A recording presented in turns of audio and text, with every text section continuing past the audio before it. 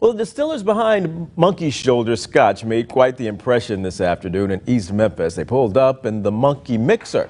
The 27-foot cocktail mixer is the biggest in the world. It can handle 123,000 bottles of liquor and has a sound system that pumps out more than 2,000 watts. The reactions are all over the board. I get people that are driving next to me with their cell phones out. I get people that honk the horn. I think at the end of the day, we did what we wanted to do, which is we want to draw attention to our brand.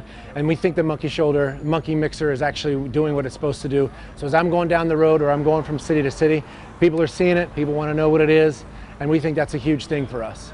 Of course.